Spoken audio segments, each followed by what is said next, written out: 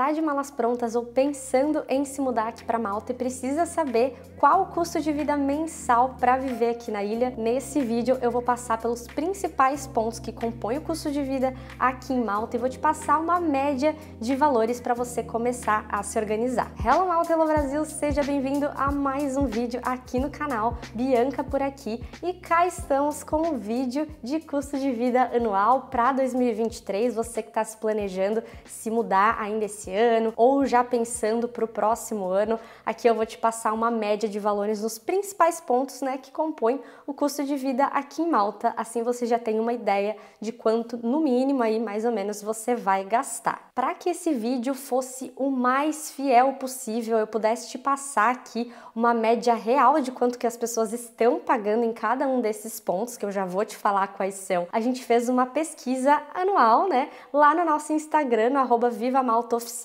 com os brasileiros aí que nos seguem. E o pessoal respondeu tudo, né, sobre aluguel, quanto que tá pagando em conta, quanto que tá saindo do supermercado, e a gente conseguiu aí tirar uma média bem legal para te passar para você ter uma noção dos valores para cada um desses pontos. Até porque para cada pessoa varia muito, né? Muitas pessoas vão gastar um pouco mais, um pouco menos, dependendo se tá vindo sozinho, casal, família. Então a gente vai levar tudo isso em consideração para te passar tudo isso da melhor forma possível. Basicamente, a gente vai falar sobre os seguintes pontos aqui nesse vídeo. A gente vai falar sobre aluguel, contas, mercado, lazer e despesas pessoais, transporte e outros que vai incluir aí escola para quem tem filhos e pet. Se você quiser um atalho para cada um desses pontos ao longo do vídeo, a gente deixou a minutagem aqui na descrição. Então você já consegue clicar no link da minutagem em que eu falo sobre cada um desses pontos para facilitar caso você queira ver uma coisa antes ou depois, ou já ir especificamente em algum ponto que você tem curiosidade. Vamos então ao primeiro ponto, que com certeza é o que vai mais impactar no teu orçamento mensal, que é o aluguel de uma casa ou um apartamento para você viver aqui em Malta. Basicamente, só para você ter uma ideia, né, do pessoal que respondeu a nossa pesquisa de custo de vida, mais de 90% colocou lá que mora em apartamento. Então, poucas pessoas moram em casa e a maioria mora em apartamento aqui na ilha, só para você já ter uma ideia. E quando a gente fala em valores, é preciso levar em consideração três pontos que vão impactar no quanto que você vai pagar nesse imóvel, né, para alugar esse apartamento ou essa casa. O primeiro deles é a localização desse imóvel, então se esse imóvel está numa cidade mais badalada, numa cidade mais central, como Slima, St. Julian's ou a capital Valeta, ou até mesmo cidades que são coladas coladinhas e próximas a essas cidades principais, ou se você vai optar por morar um pouco mais longe, no sul, no norte da ilha,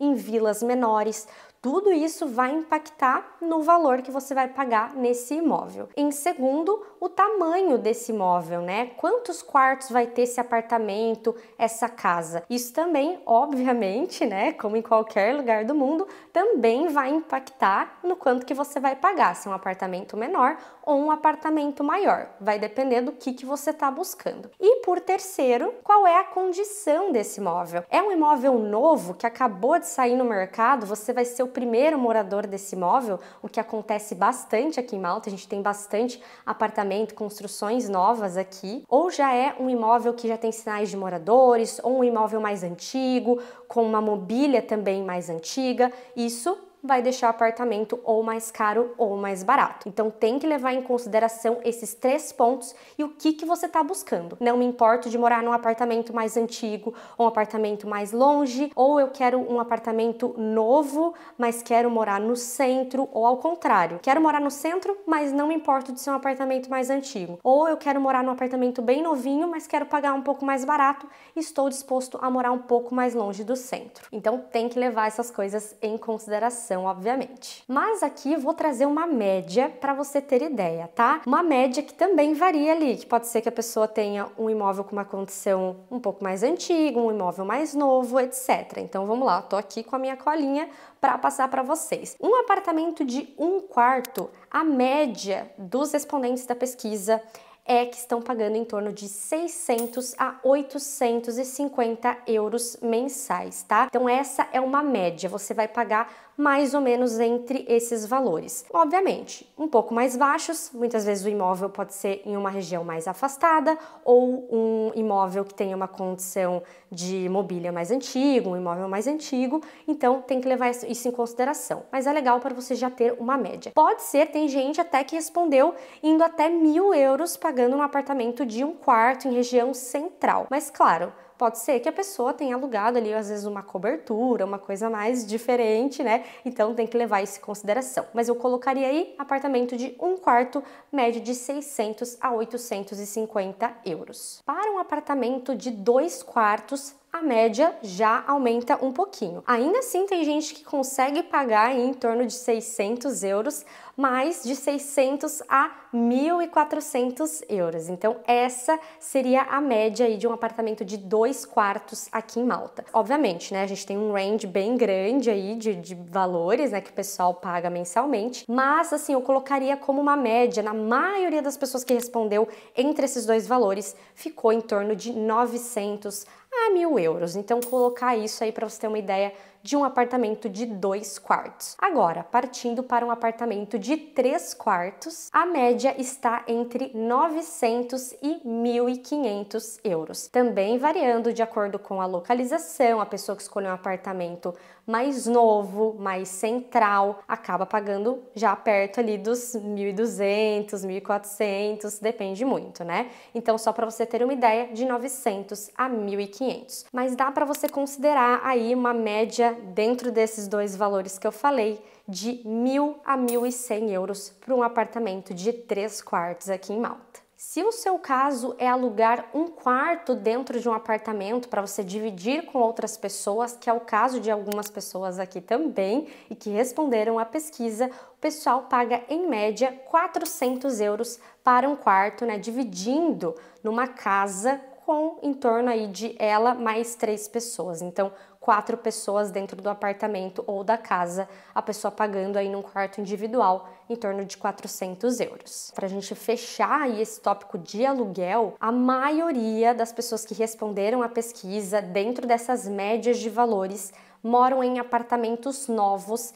em que muitas vezes ela é a primeira moradora, né, o primeiro morador ali daquele apartamento, ou no máximo tem sinais de outros moradores, mas está numa condição média, não está tão antiga. Tem alguns que responderam à pesquisa que tem, né, estão em imóveis mais antigos, mas a maioria está se enquadrando dentro dessa realidade aqui. Agora passando para o tópico contas, quanto que eu vou pagar de luz e de água para viver aqui, né, mensalmente em Malta. Para vocês terem uma ideia, antes de a gente passar para os valores, aqui em Malta a conta de água e luz, ela não vem todos os meses, como a gente está acostumado no Brasil, por exemplo. Aqui a conta ela vem de dois em dois meses. Aí realmente fica muito a critério ali do landlord, né, do dono do apartamento, de como que vai ser feito o pagamento dessas contas. Não vou entrar muito em detalhes disso, eu vou deixar isso para vocês verem no vídeo que eu vou deixar linkado aqui no card, em que eu explico tudo sobre aluguel aqui em Malta. Lá eu entro mais em detalhes nessas questões aí de contas, como que tá feito, né, se tá incluso no aluguel, se não tá. Aí é só você clicar nesse card aqui para você assistir esse vídeo e ter mais informações em relação relação a esse assunto. Porém, se a gente fosse dividir essa conta que vem de tempos em tempos, mensalmente a gente chega numa média interessante aqui, ó. Então a gente dividiu entre inverno e verão aqui em Malta. Por quê? Porque aqui, não sei se você sabe, mas o verão é aquele calor assim, ó, de chegar em 40 graus. Então é muito comum os apartamentos aqui terem ar condicionado e a gente fazer o uso contínuo desse ar condicionado durante a alta temporada, os meses de verão. Isso quer dizer que a conta ela aumenta um pouquinho. Então a gente fez essa divisão para você ter uma ideia, tá?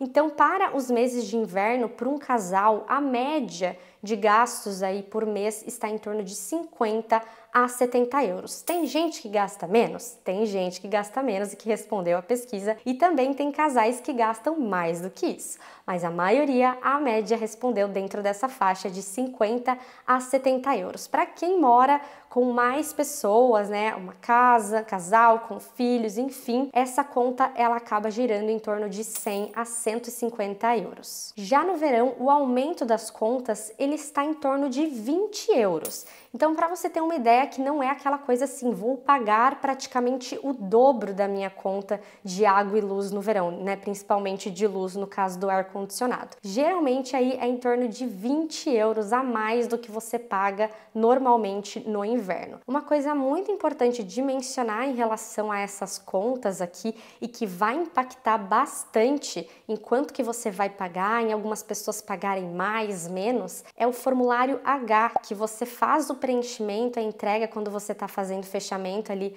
do seu aluguel, né, alugando um apartamento, uma casa, para que você consiga pagar menos nas suas contas, até 30% a menos no valor das suas contas, de acordo com as pessoas, a quantidade de pessoas que tem dentro da residência. Então, isso é um ponto de atenção que a gente também fala no vídeo de aluguel, que eu linkei ali atrás no card para você assistir, e que é necessário de você pedir para o seu landlord e você pagar um pouco menos nas contas também. É um direito seu, por que não? Bom, e tirando a água e a luz, a gente também tem a despesa com gás aqui, alguns apartamentos, tá? Não são todos. Na nossa pesquisa, em torno de 30% dos respondentes disseram que tem despesas com com gás na sua casa. Então não é a grande maioria que precisa. Nós inclusive já tivemos despesa com gás em outros apartamentos. Nesse que a gente está, a gente não tem essa despesa, então realmente vai variar do imóvel que você alugar, né? Então aqui, ó, basicamente para você ter uma noção, se você precisar fazer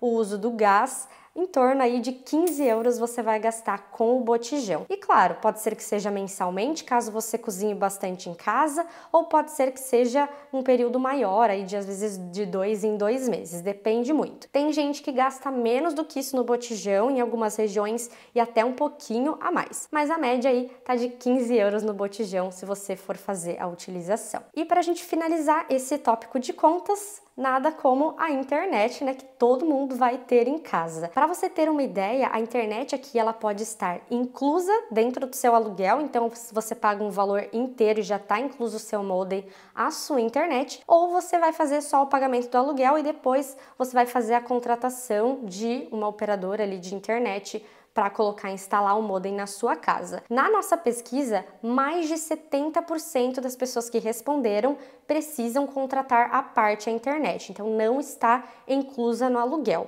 Então a média aí que o pessoal tá gastando com internet por mês é de 30 a 40 euros. Tem gente que paga um pouquinho a menos, tem gente que paga assim 25 também, tem gente que paga mais, 39, 40, 50 euros, depende de qual é a empresa, da velocidade da internet, está com pacote de TV e tudo, depende muito, mas a grande maioria está dentro dessa faixa de 30 a 40 euros mensais para a internet. Outra despesa que não tem como a gente fugir é o mercado mensal. Então, quanto que se gasta no mercado aqui em Malta por mês. Antes da gente começar, eu vou falar aqui ó, o top 3 dos supermercados que a galera faz as suas compras mensais. O campeão, mais de 40% das pessoas colocaram que fazem as suas compras mensais no Lidl. Em segundo veio o supermercado Greens e em terceiro o Welbs. Teve gente que colocou que faz em outros mercados também, mas esses assim, ó, esses três foram os campeões. Agora a gente passando para os valores, uma pessoa sozinha gasta em torno, né, uma média aí de 200 a 250 euros por mês com supermercado. Tem gente que respondeu a pesquisa que gasta menos do que isso por mês sozinho? Tem, então é possível se você tem um perfil mais econômico e tem até gente que está sozinha que gasta um pouquinho a mais de 250 também. Mas a grande maioria que respondeu a pesquisa e que mora sozinho tem a despesa aí de 200 a 250 euros por mês com o supermercado. Já para casal, essa média fica para 400 euros por mês. Tem gente que gasta um pouquinho menos, sim, tem gente que gasta um pouquinho mais também, mas a média para você calcular se você está vindo em casal é de 400 euros por mês com o supermercado. Por outro lado, para quem está vindo em família, com filhos, mais pessoas aí, essa média aumenta um pouquinho mais, é claro, tem mais gente se alimentando, fica em torno de 500 a 800 por mês. Tem famílias também que falaram que gastam até mil euros. Claro, depende se são mais filhos também, quantas pessoas são nessa casa, mas a média, né, a maioria que respondeu aí que tá com filhos, gasta em torno de 500 a 800 euros por mês no supermercado. E qual que seria o item que mais impacta no orçamento do mercado, né? O que mais o pessoal acaba gastando e que impacta ali nesse valor? Mais assim de 80% das pessoas que responderam à pesquisa colocaram que as carnes é o que impacta mais no valor do supermercado. Vamos então para lazer e despesas pessoais. A gente vai incluir os seguintes pontos dentro dessa sessão: quanto que gasta com celular, restaurante, pub, né, se você vai sair para comer fora e delivery, pedir comida em casa. É claro que muitas pessoas vão ter outros tipos de lazer, de passeios, de viagens, mas isso é muito do estilo de vida de cada um, né? E aí você coloca esse valor a mais aí dentro do teu custo de vida, né? De coisas que você gasta regularmente no seu mês. Mas aqui é algo que praticamente todo mundo que vai vir aqui, né, vai impactar aí dentro do seu custo de vida. Então vamos para o primeiro ponto. Quanto que o pessoal está gastando com celular, com plano de celular, de internet, de minuto, de ligação, mensagem ou até mesmo de crédito? O pessoal respondeu aí a grande maioria entre 10 e 20 euros por mês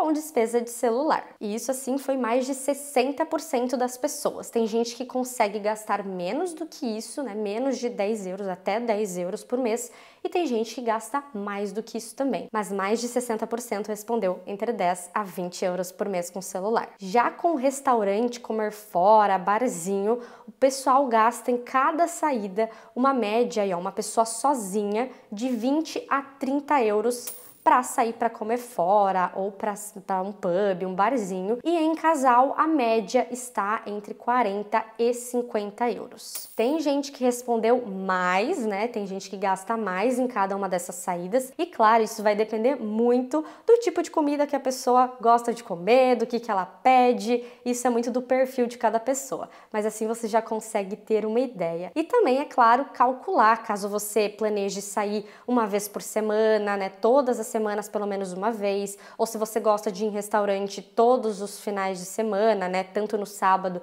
quanto no domingo. Então assim você já consegue calcular quanto que isso vai impactar no seu orçamento mensal. Já com delivery, o pessoal já gasta um pouquinho menos, tá em torno aí de 10 a 15 euros quando pede comida em casa, mais de 60% das pessoas. E isso também tem muito a ver com o tipo de comida que você acaba pedindo em casa, né? E do restaurante, às vezes acaba pedindo mais lanche, uma comidinha rápida em casa, então impacta também no quanto você vai gastar. Mas também tem um pessoal que respondeu entre 20 e 30 euros a cada pedida de delivery, mas a média aí está entre 10 e 15 por cada pedido de delivery em casa. E transporte, quanto que eu vou gastar por mês para me locomover pela ilha? Então vamos lá, boa notícia é que o que? O transporte público é gratuito para residentes aqui em Malta. Então se você está de malas prontas para vir morar aqui em Malta e vai fazer uso aí do ônibus, você não vai precisar pagar nada e o transporte não vai impactar no seu orçamento. Essa é uma ótima notícia se você tem o cartãozinho personalizado do transporte público aqui de Malta, né? Já que você vai residir.